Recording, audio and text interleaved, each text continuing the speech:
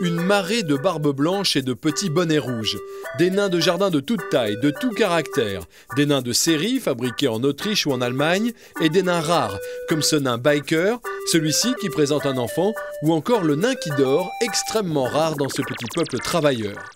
Tous viennent de la collection de Juleska Lifschutz, une habitante de passé, avant tout nanupabulophile, c'est-à-dire collectionneuse de nains de jardin à brouette.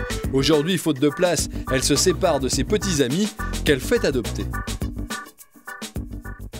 Je demande un petit écho euh, symbolique, euh, ça va de 5 euros, 10 euros, 20 euros. Ce sont des pièces qui en valent euh, certainement 10 ou 20 fois de plus. Je ne dis pas lesquelles pièces sont rares, c'est également le coup de cœur des gens. 40 à 50 nains sont adoptés chaque jour, ils sont réservés et seront remis à leur nouvelle famille samedi. Donc le papa, la maman et il y a juste un petit bébé colvert ou vous voulez la petite sœur colvert les nains de jardin sont toujours kitsch, mais ils ne sont plus ringards. Le regard posé sur eux a changé. Pourtant, ne parlez pas à Yuleshka du fameux front de libération des nains de jardin. Alors, libération, ils me font rigoler. Libération, c'est du vol. Ils vont traumatiser des gens qui adorent les nains de jardin, qui les mettent au milieu des fleurs. Les nains de jardin, ils sont ravis. Ils ont des fleurs, ils ont des légumes.